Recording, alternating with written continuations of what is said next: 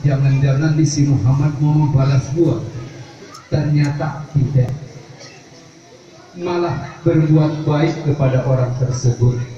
Yang akhirnya orang tersebut berubah pikirannya yang tadinya benci spontan di hadapan Rasulullah mengucapkan dua kalimat syahadat artinya masuk Islam itulah contoh sore teladan bagi kita kalau kita lain ya malah marahnya lebih parah.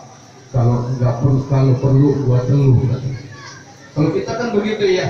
Subhanallah minta ada lagi orang yang suka mencaci maki menghina mengejek menjelek-jelekan Rasulullah.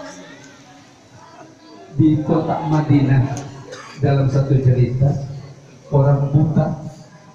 Padahal matanya buta tapi suka jelek-jelekin Rasulullah ya membuat fitnah kepada Rasulullah. Tapi Rasulullah setelah tahu orang yang telah mencaci maki beliau beliau tidak marah malah menjeluknya mendatanginya memberikan makan kepadanya bersambil disuapin. Suatu ketika Rasulullah meninggal atau wafat. Berarti orang buta itu tidak ada yang menjenguknya lagi tidak ada yang memberinya lagi yang tidak ada yang menyuapinya lagi. Kemudian sahabat Rasulullah Abu Bakar bertanya kepada Aisyah wahai Aisyah apa pekerjaan Rasulullah yang lebih daripada yang lain?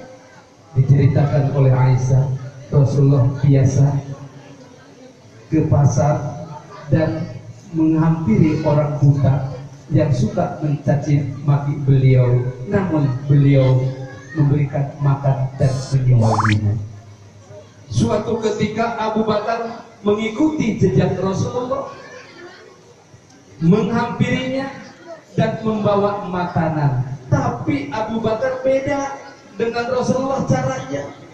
Bahkan akhirnya yang buta itu berkata ini bukan orang yang biasa memberikan makanan kepadaku.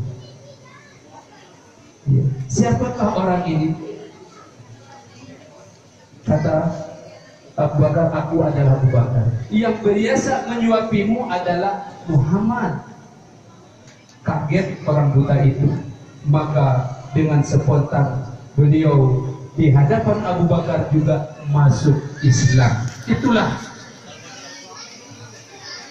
akhlak budi pekerti Rasulullah Sallallahu Alaihi Wasallam. Demikianlah kurang lebihnya mohon maaf. Wabillahi taufiq wal hidayah. Wassalamualaikum warahmatullahi wabarakatuh.